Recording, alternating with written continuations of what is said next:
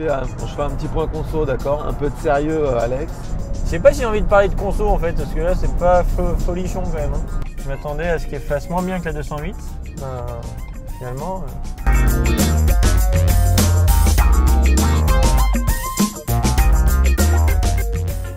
Bonjour à tous et bienvenue sur la chaîne EV. Aujourd'hui, nouveau Ioniq 28 Challenge. Aujourd'hui, on teste tout simplement la voiture électrique la plus vendue en France. C'est donc là. bah, la Renault Zoé.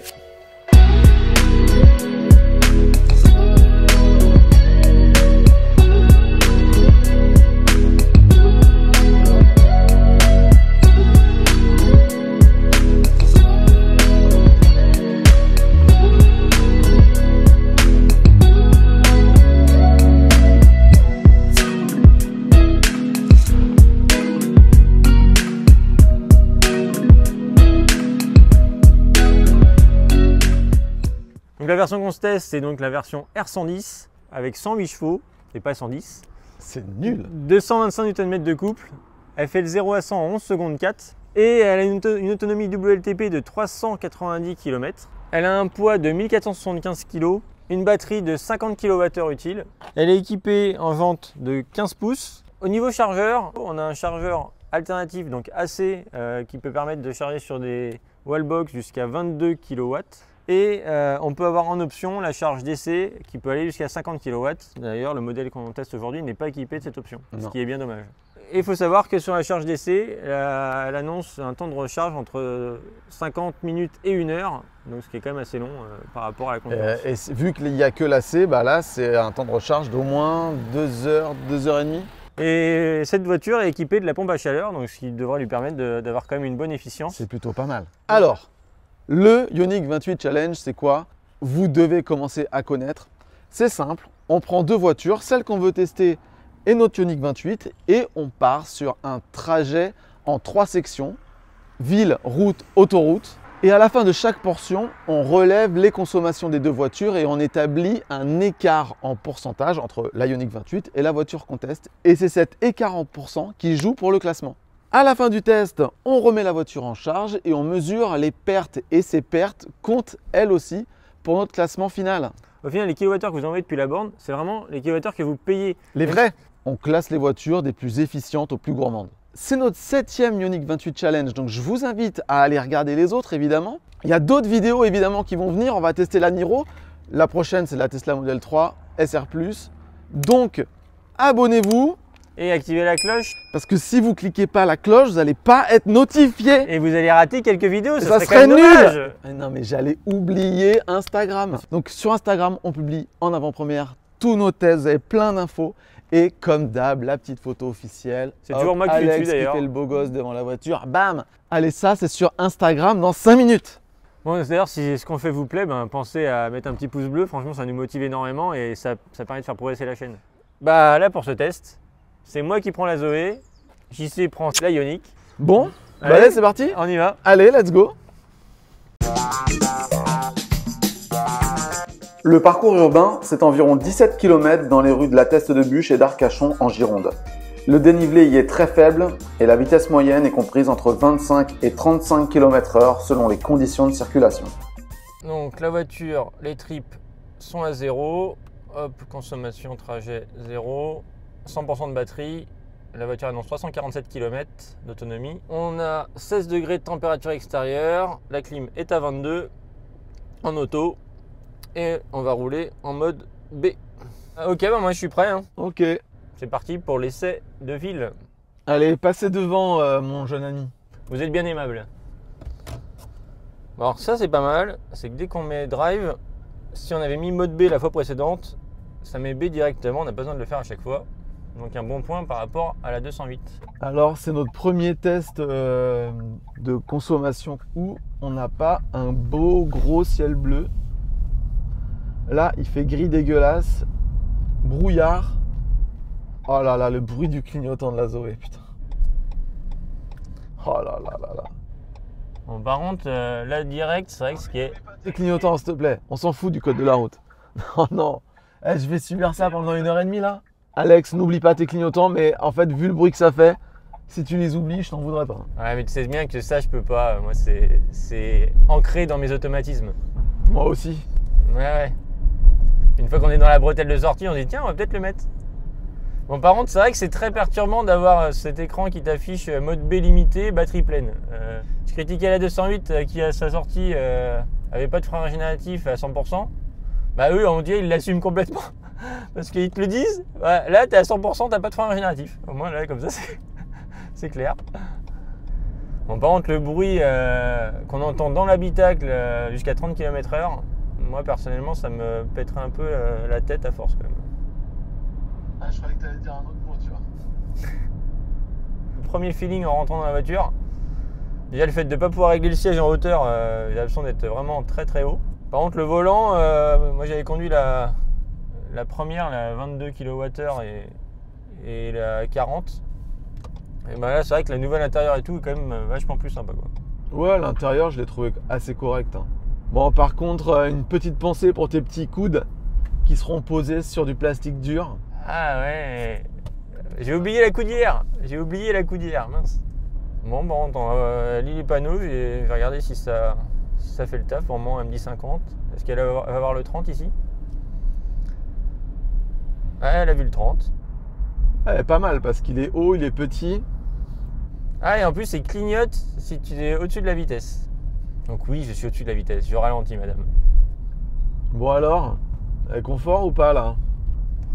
Bah, pour une petite citadine comme ça, après, ça a l'air un peu plus tape-cul, je trouve que la, bizarrement, que la 208. Euh, j'ai l'impression que c'est un peu plus raide. Ok. Bah, c'est un- ouais, ça, on, sent que, on, sent que, on sent que c'est plus cheap, quoi, de toute façon. Ah, j'ai toujours pas de frein régénératif. Hein. Euh, Je sais pas de quelle licence on a fait, mais je suis en même temps toujours à 100% de batterie. Bon, en tout cas, moi, je me rappelle qu'à sa sortie, la Zoé, je la trouvais tellement belle. Je trouvais qu'elle était fluide, elle faisait vraiment futuriste et tout. Elle était géniale. Quoi. Effectivement, j'étais pareil que toi, elle la trouvée super mignonne, super sympa, futuriste. euh, C'était l'avenir de la voiture. faut savoir que quand on change la voiture, en DC, en tout cas c'est sûr, euh, dès que vous mettez le chauffage, bah, ça coupe la charge. Donc vous pouvez pas avoir le chauffage dans votre voiture tout en rechargeant la voiture. En sachant que la voiture met euh, près d'une heure à 50 kW. Si vous avez pris l'option euh, 50 kW euh, pour remonter de 10 à 80%, donc euh, ne pas pouvoir mettre le chauffage si on est en hiver euh, à la borne, euh, c'est quand même un peu moyen. Et d'ailleurs, cette option 50 kW, euh, moi franchement, je vous conseille, même si vous n'avez pas prévu maintenant de faire des grands trajets avec, vous dire ouais, ben, c'est juste pour faire de la ville, bah, pour le marché de l'occasion derrière, et même vous savez pas comment vous allez utiliser votre voiture dans le temps, euh, c'est vraiment une option pour moi qu'il ne faut pas négliger. Euh, c'est certes 1000 euros à rajouter, mais ça donne une polyvalence à la voiture euh, qui, est, qui est pas négligeable. Alors, juste l'option dont on parle, la charge d'essai, c'est à la base dans la Zoé où il y a une, une prise T2. Et on peut prendre une option combo CCS. C'est deux petits plots qui sont sous la prise T2 en plus. Et eux permettent de charger beaucoup plus vite. Cette option, elle a combien 1000 balles? 1000 euros, ouais. Bon, euh, aujourd'hui, il n'y a pas une voiture qui sort sans ce combo CCS. La Zoé, si. C'est très surprenant, ce qui pour moi tue un peu le marché de l'occasion. Parce que Bah, bien sûr. quand vous allez la revendre, celui qui va la racheter, ben, il va peut-être lui vouloir une voiture qui per- per- permet de charger en combo. Et si vous ne l'avez pas pris, ben, déjà vous perdez tous ces potentiels acheteurs en fait. Il faut absolument prendre cette option, c'est clair. Bon, petit boussin là, t'es combien en conso là?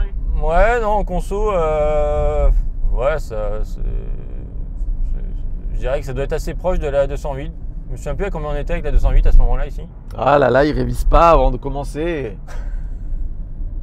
Mais c'est toi qui connais les chiffres, c'est toi, euh, monsieur. euh. 208 en ville, 11,2. Bon, bah, je vais dire que ça roule comme la 208 pour le moment. Euh, en sachant qu'en plus, là, les conditions euh, sont- ont l'air un peu moins bonnes au niveau météo que quand on a fait la 208. Alors attention, attention euh, Alex. Je t'annonce que euh, ma Ioniq est en train de surperformer là. C'est pas dit que le résultat de ta Zoé soit si intéressant, on verra. Pareil, dans les autres sujets euh, qui fâchent un peu avec euh, le sujet Zoé, c'est l'histoire du loc à donc le principe, c'est que vous achetiez la voiture, mais par contre, la batterie était louée. Et vous payez du coup une location de batterie en fonction du nombre de kilomètres que vous faites, euh, comme quand vous louez une voiture en fait. Il faut savoir qu'aujourd'hui maintenant, c'est directement en achat intégral comme toutes les autres voitures électriques. Pour la plupart des gens, quand on croise des gens qui n'ont pas de voiture électrique, ben, pour eux, la voiture, on l'achète, mais la batterie, on la loue encore. Et alors qu'il n'y a plus aucune voiture qui on loue la batterie. Donc il faut retirer ça de l'esprit.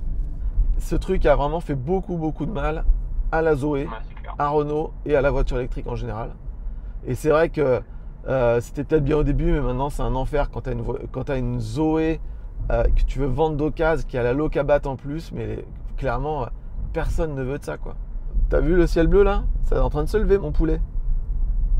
Ouais, on verra ça. Mais oui, tu vas voir, on va finir, on va finir au soleil comme d'habitude. Ouais. Et alors le frein régénératif, là t'en es où? Ça y est, euh, t'es sorti du mode euh, la batterie est trop pleine, euh, pas de mode B? Bah, j'ai du mal à me rendre compte. Ouais, ça ralentit un peu. S'il y en a un petit peu. Si ça recharge là. Ça recharge. Après, bon, c'est léger quand même. hein, On est d'accord que sur la Zoé, euh, et ça je pense. Alors là, moi c'est un truc que j'ai appris il y a pas longtemps et j'hallucine. Sur une euh, coréenne, quand tu lâches l'accélérateur, tu charges, tu fais de la régénération, mais quand tu appuies sur le frein, t'en mets encore plus de régénération. Et alors il y a quelques voitures, comme la Zoé, où quand tu freines, eh ben ça ne régénère pas. C'est que le lâcher l'accélérateur qui régénère. C'est incroyable ça. Ouais, c'est vrai que la plupart, même euh, la, l'ID4, pareil, quand tu freines, la- le, la- le début de course de la pédale de frein, c'est l'électronique qui augmente le frein régénératif. Et ensuite, c'est le frein mécanique qui prend le relais. Alors que là, euh, là non, dès que je freine, le, charge, il change pas du tout. euh, il reste. Incroyable. Ça, c'est, enfin, c'est du coup, c'est une perte d'efficience. euh, du coup, on utilise de la plaquette inutilement, mais c'est bien dommage. Bon ben voilà, on termine ce tronçon de ville. Donc, ce qu'on fait, si vous regardez un petit peu nos vidéos, vous commencez à savoir. Donc, on relève les consommations. On se les dit pas. On se les dit pas à nous deux et on vous les dit pas. Et on vous donne tout ça à la fin du test. Donc du coup, on prend les relevés. Alors donc voilà, chose que je ne pensais pas. Il fait gris. D'habitude, il fait beau. Je me disais que quand il fait beau, l'habitacle est à température, mais en fait, a priori, quand il fait beau, il faut le refroidir, l'habitacle, vu qu'aujourd'hui, c'est notre record de consommation, tout simplement. Donc le record d'avant, c'était 9,2 kWh au 100 en ville. Et là, on a fait encore moins. Chauffage activé à 22. Alors qu'il fait 17 dehors et c'est le gris. Cette voiture est extraordinaire. Bon, on va regarder ce qu'il a fait. On va essayer de deviner. On va voir ce que JC a fait avec sa Ioniq. Bonjour. Vous avez vraiment la classe dans cette voiture. Ouais. Je me sens un peu haut là. T'es sur une butte ou quoi? J'ai l'impression que le mec il est en Cybertruck. J'ai l'impression d'être plus haut que quand j'étais avec la ID4 limite quoi. Bon alors?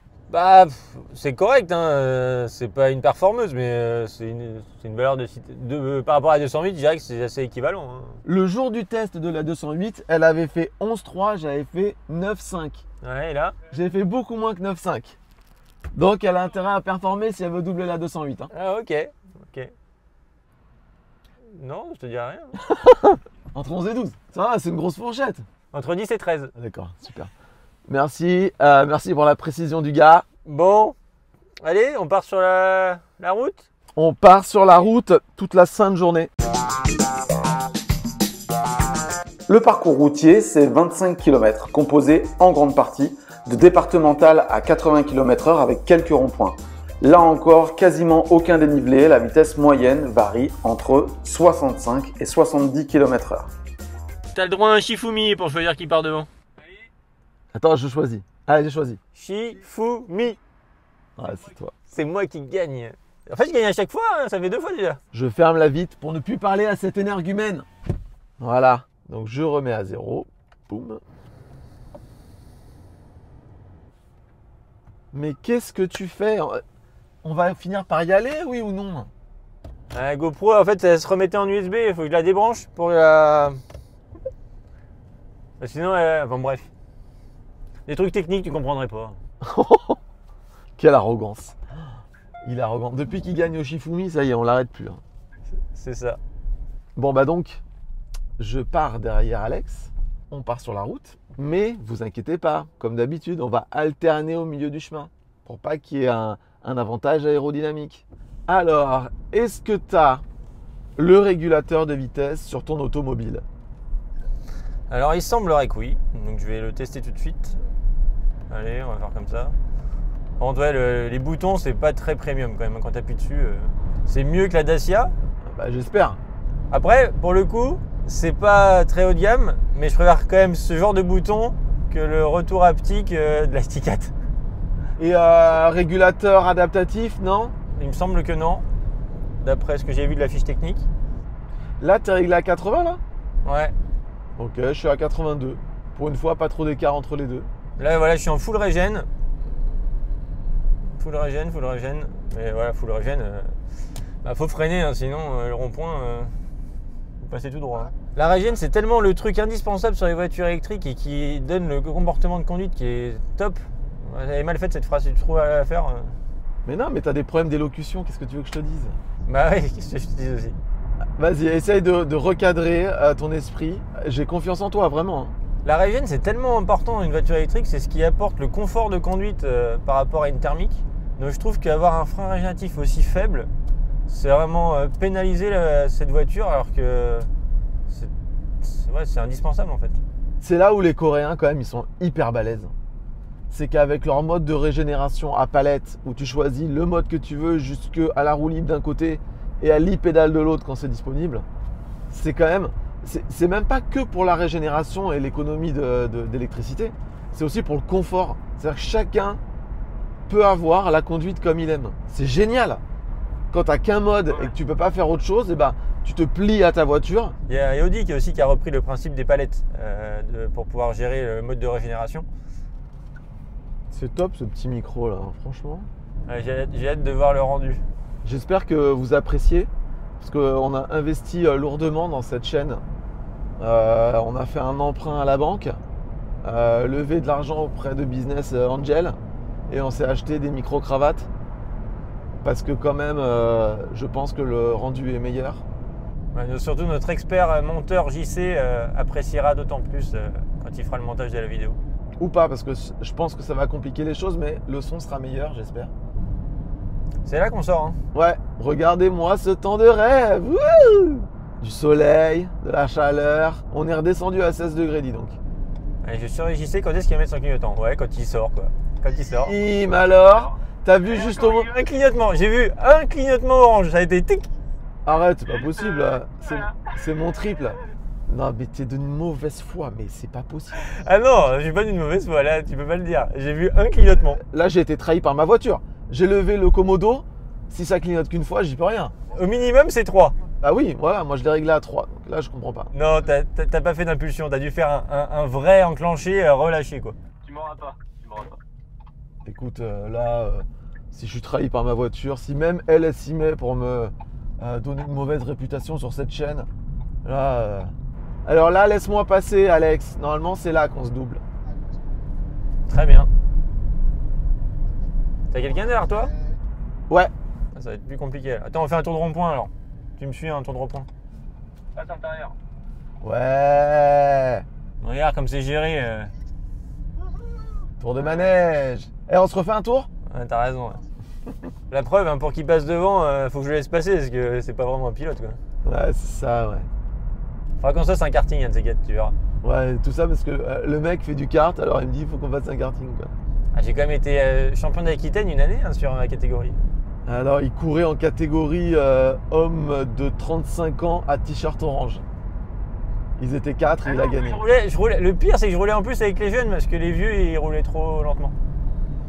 Bon bah Alex, on va bientôt passer dans la, zone euh, blanche, grise, noire. Enfin la zone euh, où on se capte plus.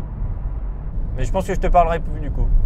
Ouais ouais, ça, eh, euh, ça va me faire du bien un peu de plus entendre quoi. C'est ça. Et quand je verrai que tu prendras le rond-point pour faire demi-tour, je te suivrai, mais ouais, ça s'arrête là. Quoi. En fait je crois qu'il faudrait qu'on fasse le parcours uniquement dans cette zone pour pas avoir à se parler quoi. Ah, des fois, ça ferait du bien quand même. hein. Ouais, j'en peux plus. hein. Donc je te confirme, il n'y a pas de régulateur adaptatif. hein. On a fait 15 km sur notre trajet de 25, donc plus de la moitié. Pour l'instant, je consomme un peu plus que d'habitude. Beaucoup plus. Enfin, plus en tout cas. En même temps, les conditions météo sont pas folles folles. Il fait 16 degrés dehors. Je vous rappelle que notre protocole implique une clim réglée à 22. Donc là, a priori, en ville, ça a été plutôt positif. Là, c'est plutôt négatif. On surconsomme un peu. Ici, petit rond-point. On va faire demi-tour. Ah, il a mis son clignotant quand même pour faire le tour du rond-point. J'ai mis mon clignotant un peu tard. Je suis sûr que dans la voiture, Alex, il fait Oh là là, le clignotant, oh là là, le clignotant.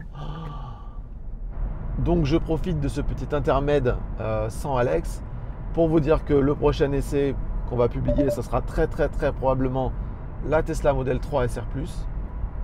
Je sais qu'il y a une énorme attente sur cette voiture. Donc n'hésitez pas à vous abonner et activer la cloche pour recevoir une notification quand la vidéo sera publiée. Normalement c'est dans une semaine, mais on ne sait jamais. Ça peut être plus long. Et mettez-nous en commentaire euh, toutes les remarques ou autres que vous pouvez avoir, euh, aussi bien sur la voiture qu'on teste euh, ou sur des voitures que vous voudriez qu'on qu'on teste à l'avenir. Ou des questions diverses. D'ailleurs, sur les voitures électriques, euh, on répond à quasiment tous les commentaires en théorie. Ah, il n'y a pas moyen d'être tranquille 5 minutes. hein. En fait, je pensais qu'on était encore en ligne. Et du coup, suis dit, ça va reprendre tout seul. D'un coup, je réalisais que tu n'étais plus là en fait. Ouais, ça a coupé, ça a coupé. Bon, t'es comment là au niveau conso? Bah, c'est.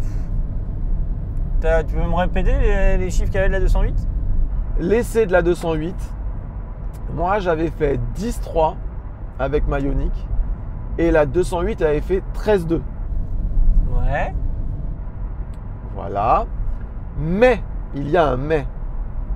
Actuellement, pour le coup, je consomme un peu plus que euh, les 10-3 de la dernière fois. D'accord. Mais je fais quand même le choix de rien te dire, moi, du coup.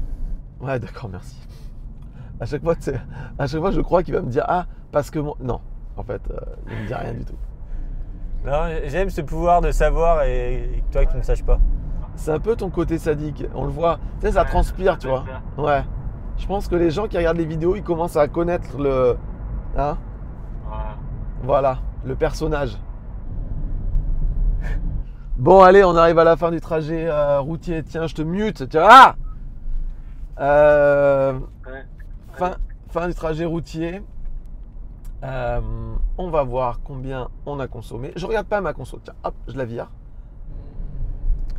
On va essayer de prendre les informations de consommation qu'il a fait avec la Ioniq, mais bon, pas trop de surprise pour nous, hein, on les connaît à peu près. hein. C'est lui qui reste euh, dans l'inconnu. Dernier petit virage. Est-ce que la Zoé va réussir à faire une manœuvre suffisamment serrée Ça, par contre, le rayon de braquage, c'est une citadine. Tac. Donc, ben voilà, on a fini le tronçon de route. On va prendre les relevés de consommation. Et on vous dira tout ça ben, en fin de vidéo. Bon, on va quand même essayer de prendre des infos de conso de JC, même si. euh. Maintenant, les uniques, on commence à connaître. hein. On regarde ce qu'il a fait cet énergumène. Et si on n'ouvrait pas la vitre? Genre on l'ignore, tu vois, on repart direct sur l'autoroute. Parce que le problème c'est que là si j'ouvre la vitre et que je lui demande, je lui donne de l'importance en fait. Et ça, dans sa petite tête, ça le fait, euh, ça le fait briller. Bon allez, je vais lui parler parce que sinon, il faut qu'il ait un lien social. Qu'est-ce qu'il parle tout seul quand il est dans la voiture? Ça, c'est... Il aime parler tout seul dans sa voiture. hein. Bon, Bah alors, vous voulez quoi, monsieur? Bah le chiffre, t'as consommé combien? 18 kWh au 100. Waouh, pas mal Joli. Tu me donnes une fourchette, ta fourchette ça va être entre 9 et 18, c'est ça? Ouais, même 9 et 20, je pense. Merci. Non, mais en fait, je sais même pas pourquoi j'ai ouvert la vitre. Je, je refroidis la voiture et je n'aurai aucune info. Bon, moi, je te dis des infos. Parce que moi, je suis un mec sympa. En fait, je pense que les gens, en fait, ils s'en foutre de la valeur de la Ioniq. Ils ont toujours la même valeur, en fait. Mais bah non. Ouais. En ville, j'ai fait mon meilleur score depuis le début. Et sur route, j'ai fait mon pire score depuis le début. Ah. Donc c'est incompréhensible, en fait. La seule chose qu'il faut euh, euh, comprendre, c'est que si elle a fait une consommation honnête, elle va réduire ensuite une fois qu'on appliquera les... nos calculs. A-t-elle fait une consommation honnête Putain. Je m'en fous, j'arrête Je te parle plus Ouais. Plus- Je n'ouvrirai plus jamais cette fenêtre. Le parcours autoroutier, c'est 90 km en aller-retour sur l'A660, puis l'A63 en direction de l'Espagne. Il y a du dénivelé, mais le point d'arrivée est à la même altitude que le point de départ. La vitesse moyenne est généralement comprise entre 110 et 120 km/h. Est-ce que tu m'entends? Malheureusement. Allez, on y go, je passe devant. Donc ouais, celle qu'on a, euh, c'est une R110. Là, du coup, celle-là, on fait pas 110 chevaux, elle fait 108 chevaux. Pour un usage, de toute façon, euh, citadin, euh, pour moi, la 110 fait largement le job. euh. Même euh, routier, hein, franchement, euh, l'envoie. hein. Donc pareil, là j'accélère. Bon là j'accélère euh, bien trois quarts pédale, facile. hein. Allez, mi-pédale. Bon, en tout cas pour s'insérer et, euh, et se mettre en circulation, euh, pas de problème de puissance euh, pour ne pas être en danger en tout cas. Alors c'est où il y a du vent là. Je trouve que la voiture elle se déporte. Ouais, il y a un peu d'air. euh, en plus j'entends un peu le bruit d'air. Par contre, ce qui est bizarre, c'est que dans cette voiture, enfin bizarre, c'est plutôt bien, c'est qu'il y a des bruits d'air euh, comme la plupart des voitures électriques. Par contre, il y a quand même très peu de bruit de roulement, je trouve. Ouais. Donc euh, je sais pas si on n'est pas avec des pneus EV machin qui. euh, Ouais, peut-être, ouais. Mais du coup effectivement il n'y a pas de. Ouais, très peu de bruit de roulement quoi. Alors que pourtant on sent que la sonorisation c'est pas ouf quoi. Ouais. T'as combien au niveau de la Ioniq là? De quoi? T'as à quelle vitesse sur la Ioniq 130. Ok, bah, je suis à 128. Euh, je pense que là 128 c'est la bonne, euh, bonne vitesse. Je vais ralentir un peu pour t'éloigner parce que je suis un peu près de toi quand même. Là je, je ressens un peu euh, ce que t'as ressenti quand t'as eu le Kona avec régulateur non adaptatif. Je sens que je vais, je vais être un peu stressé pendant toute la route quoi. Vraiment, c'est quand tu es habitué au régulateur adaptatif, euh, le régulateur normal, c'est chiant. Dis-moi, euh, lane assist, t'as testé un petit peu Ça, ça zigzague un peu dans, dans les lignes. J'ai l'impression qu'elle conduit pas trop toute seule. Ouais, si elle me re- rebondit, là, elle vient de rebondir sur la ligne, elle s'allume en jaune. Ah si, ça y est, gardez les mains sur le volant. Là, tu as un lane assist en mode ping-pong, c'est-à-dire ça rebondit sur les lignes. Là, par contre, je fais vraiment un mauvais élève. hein. Là, je, là, je suis en, en tapotage de mur, quoi. Je sais pas si tu me vois derrière, mais... Ouais, je te vois là, tu, tu tapes. euh, Par contre, elle me dit jamais, euh, stop, euh, tu peux faire toute la route comme ça? Bon, après, c'est bien, c'est un élément de sécurité. Tu baisses la tête, tu regardes un truc, euh, tu ramasses ton téléphone, euh, ta voiture elle va te maintenir dans la ligne, c'est bien. Là, ça me fait un peu flipper quand même. Ou c'est euh, ou c'est dans un virage qui tourne à droite en permanence, donc en fait elle fait que rebondir. Ouais, j'ai repris le volant, stop. Mais bon, euh, ouais, euh, j'ai l'impression qu'il se déconnecte jamais. euh, il reste actif tout le temps et il t'engueule, mais il te laisse actif quoi. C'est incroyable ce temps. hein. Je te fais une prévision Evelyne Delia. On part sur l'autoroute vers l'Espagne, on va faire demi-tour et quand on revient, il fait beau. Ok? Ouais, pff, peut-être qu'il fait beau devant le bureau, allez. Bon, par contre, l'avantage c'est que la température, on reste quand même assez correct. On est à 16 degrés. Ouais, la couverture nuageuse nous aide. Allez, on sort de l'autoroute qui nous emmenait à Bordeaux et on part vers l'Espagne, qu'on ne verra jamais, comme d'habitude. Youhou Youhou T'aimes bien t'insérer à côté des camions, hein? Tu l'as vu, ce plan-là, il va être sympa aussi. Euh, Bon, écoutez, hein, je fais un petit point conso, d'accord? En 1, un peu de sérieux, euh, Alex. On a fait que 24 km Je sais pas si j'ai envie de parler de conso en fait, parce que là c'est pas fo- folichon quand même. hein. Ah, voilà, là tu me fais plaisir. Bah, en fait, ce qui est assez surprenant quand même, c'est comment ça se fait que ces petites voitures qui consomment pas tant que ça en ville, consomment tout le temps autant sur autoroute. Et il y a eu un commentaire d'ailleurs sur la 208 qui était, je trouve assez pertinent, je m'étais jamais trop posé cette question-là, qui disait que le rendement du coup de ces moteurs, euh, ces petits moteurs, bah, en fait en tournant à faible vitesse, bah, des rendements acceptables, mais en les faisant tourner quasiment au max de leur vitesse, ben, là le rendement était moins bon. Et potentiellement, il fallait peut-être envisager d'avoir euh, une boîte automatique à 2, 3, voire 4 rapports, euh, de manière à avoir un meilleur rendement sur euh, autoroute. Mais bon, je trouvais ça dommage de devoir remettre une boîte et complexifier le système, avoir ce rapport qui passe. Et puis encore une fois, regarde, la petite Ioniq a fait 135 chevaux et, euh, et elle consomme rien sur autoroute, donc c'est possible. Bon après il y a l'aérodynamisme aussi, hein. la Zoé c'est un, c'est un parpaing quand même. hein. Ouais. Elle est haute. Hein. Ah, le- le soleil commence à taper un peu à travers les nuages là. Je vais me sortir les lunettes, allez. Information routière. À 63 travaux. C'est quoi ça? Ah bah de l'infotrafic euh, même quand tu utilises pas le GPS. Il m'annonce qu'il y a des travaux sur la 63. Putain ça fait du bien ce soleil là. Ah ça peut se dégager hein. Mais je te l'ai dit, je te l'ai dit. Evelyne Delia dans sa Ioniq avait déjà tout prévu. Allez, on va sortir bientôt, mon poussin. Tu les vois au loin, les tapas au bout de la route là-bas? Eh bien non. Ouais, un jour peut-être. Ça pourrait être notre premier road trip, ça. Aller manger des tapas à Saint-Sébastien et revenir dans la journée. Allez, passe, petit gredin. Ah, d'accord. Je passerai au suivant. Bon, je vais faire un tour en plus. hein. Très bien, je le fais avec toi. Sinon, on aura une distance différente, donc il faut être euh, cohérent dans nos parcours. Ah là là, il y a Papy avec sa Zafira là. Est-ce qu'il va passer? Ah putain. Mais t'es où? Attends, mais on va faire combien de tours? Donc voilà, on s'amuse à faire des tours de rond-point. euh, Vas-y, double, double Ah ouais, là, je mets pied dedans, pied dedans. Waouh Perte d'adhérence. J'en ai perdu la clé de la voiture qui est tombée par terre. Bon voilà, on a inversé les positions pour euh, équilibrer les avantages euh, d'aspiration potentielle et d'aérodynamisme. Donc le retour, c'est moi devant. En même temps, je sais jamais où on va moi, donc euh, vaut, mieux, euh, vaut mieux pas que je sois devant, mais bon, c'est pas grave. Allez, c'est cool, je vais me mettre à 140 au régulateur, comme ça je me cale derrière toi. Moi, je suis à 127 euh, du coup compteur, hein, pour être à peu près à ton 130 de tout à l'heure. Ah, je pense qu'il va peut-être battre la 208 quand même. hein. En plus, tu me dis que t'es pas forcément au top. Ah si, je suis bien. Mais là, ça a duré dur un peu parce qu'on est descendus tous les deux là, j'ai l'impression. Depuis le début de cet essai, tu dis du mal de cette Zoé, tu me sors tous les défauts.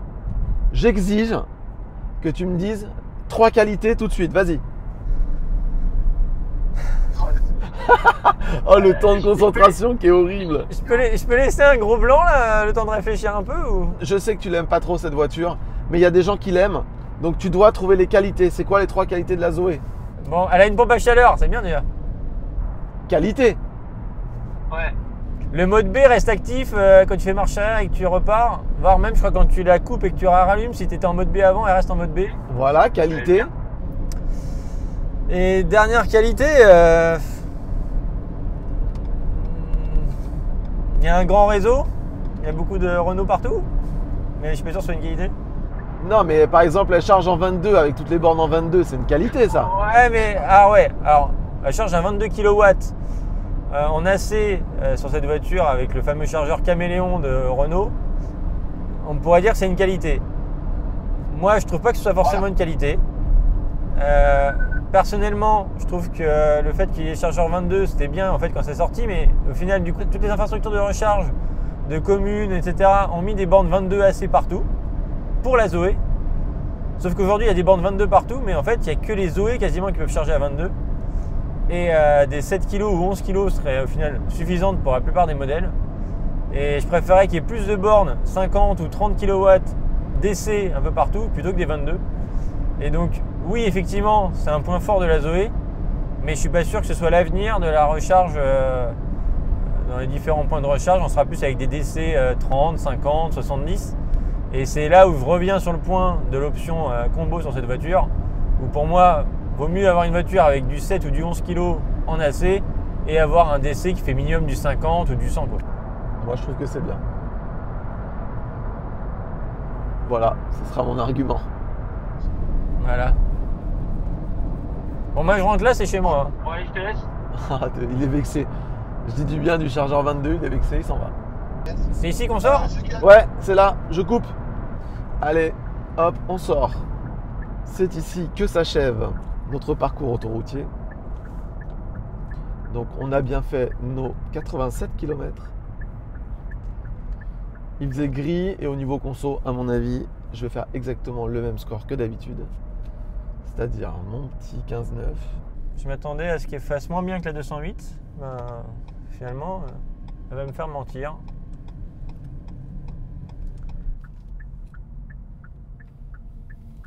Et hop là.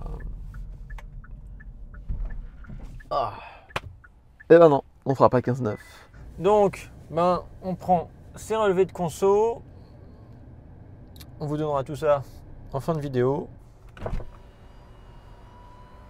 Allez, on va voir ce que euh, ce qu'Alex dit le nettoyeur de voiture. Je sais il parlait tout seul dans sa caisse. je sais pas. Alors, est-ce qu'on lui dit la conso? Bah, je sais que tu vas pas me la dire, donc bon. Tu sais quoi, je vais même pas te faire le plaisir de faire genre euh, Je te dis qu'elle a fait entre 12 et 16. mytho. Euh, alors attends, Ah, en fait, merde, c'est pas crédible. Bon, bah, elle a quand même mauvaise réputation. moi je vais te dire des trucs intéressants parce que il y a quand même une personne entre nous deux qui dit des trucs intéressants dans ces vidéos. Ouais, ouais. La 208, elle avait consommé 19,1. Non, mais là, je, je suis sûr qu'elle a fait mieux, au final. Je peux juste dire ça. Est-ce que tu peux dire au moins un truc? Parce que là, quand même, j'en ai ras le cul. Est-ce que tu peux dire si le premier chiffre c'est un 2 ou un 1 Je peux dire que le deuxième chiffre, c'est un 8. Donc c'est 18. Elle a pas fait 28. Non Après le point. Après le point, c'est un 8. Ok, super, merci. Euh, merci pour l'indice. C'est. Alors attends. Et on est en dessous des 20. Voilà, je peux dire qu'on est en dessous des 20 et qu'après le point, c'est un 8. Bon, on a fait 19,8. Deux chiffres sur 3, c'est sympa comme info. 18,8 Ah, Je dis rien. Ben, va te faire foutre, voilà. Je veux pas savoir, j'en ai marre. On rentre, c'est fini. On va mettre la Zoé à charger. Et puis on va calculer les pertes. Et puis on va vous donner les résultats. Et puis après on va vous donner les résultats normalisés. Et puis, et puis quand même, hein. Et puis après on fera un petit final. Et puis après on en restera là parce que ça suffit maintenant les vidéos.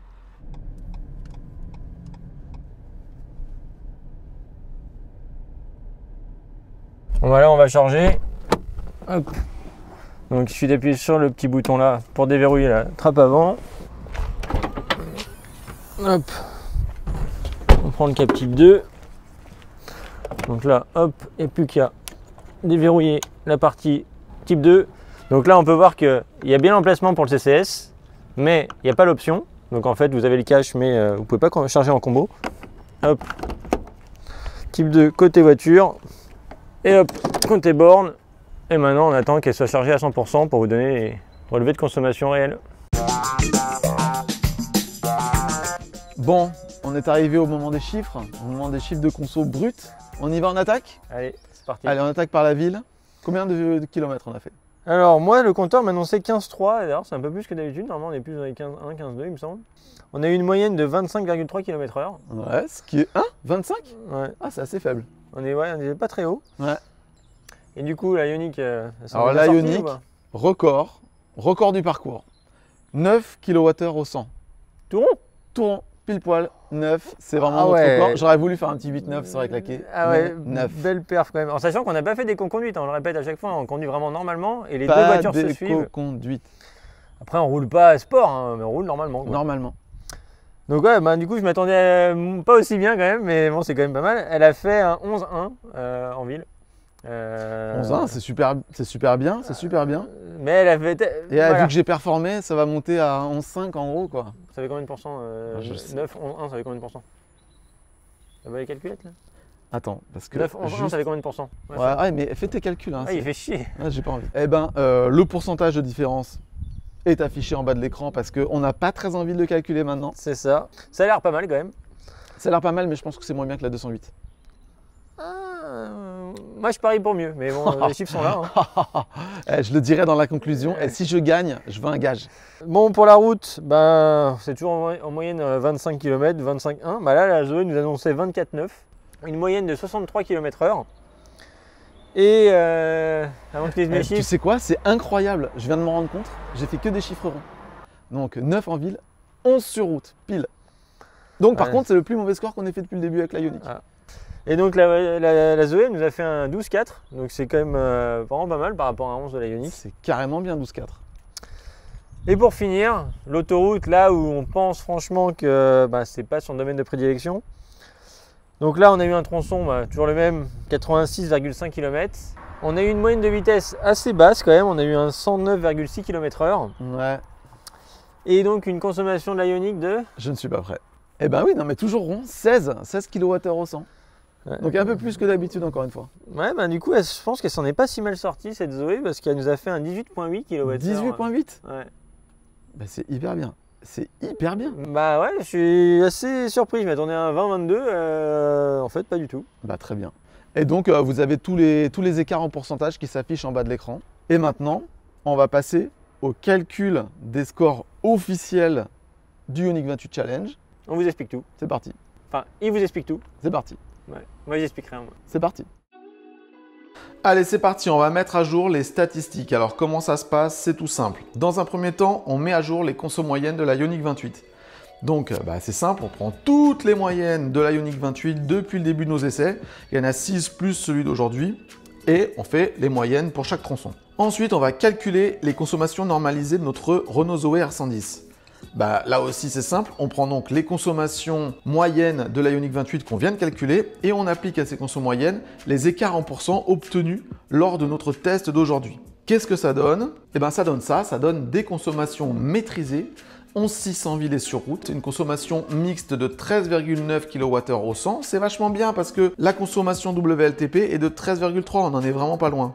Et donc, évidemment, j'ai une mauvaise nouvelle pour Alex, il avait dit que la Zoé avait moins consommé que la 208 en ville. Évidemment, moi j'avais dit le contraire. Évidemment, j'avais raison. On avait parlé de gage. Moi, je propose que le gage, ça soit que si un jour on essaye la Porsche Taycan, eh bien, ça soit moi qui conduis, évidemment. Au niveau des autonomies, bah, c'est pas mal non plus. Hein. On peut noter un petit 374 km en mixte et un 197 km entre deux bornes sur l'autoroute, 197 km, c'est vraiment excellent pour une citadine. Allez, maintenant, on va passer à la recharge.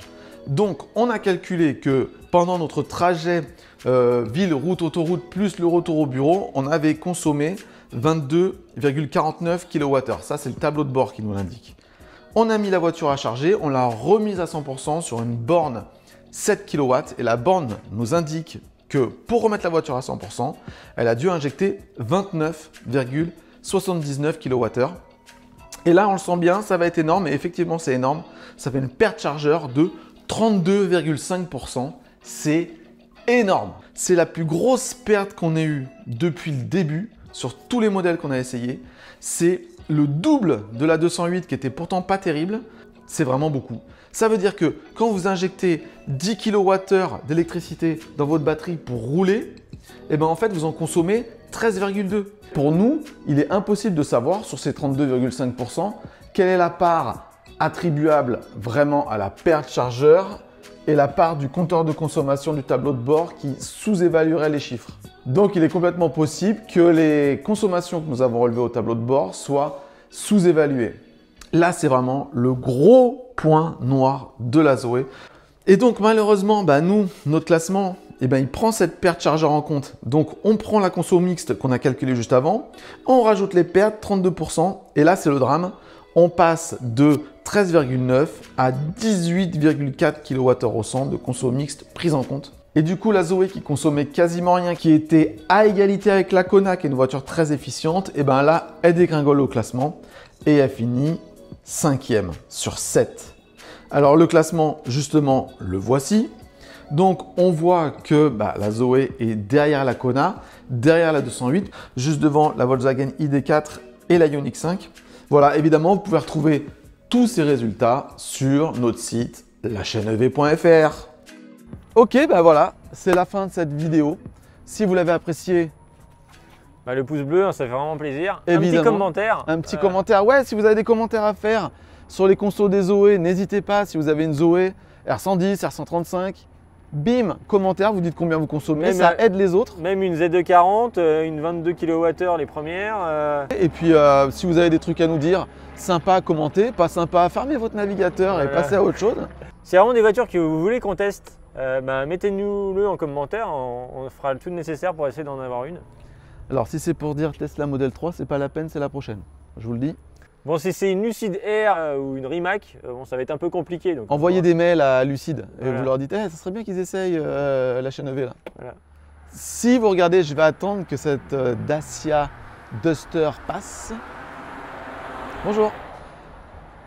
Si vous regardez cette vidéo quelques mois après sa mise en ligne, n'hésitez pas à aller sur notre site internet lachaînev.fr parce que ben, on met à jour tous les résultats en permanence et s'il y a des nouveaux tests, ils y seront aussi.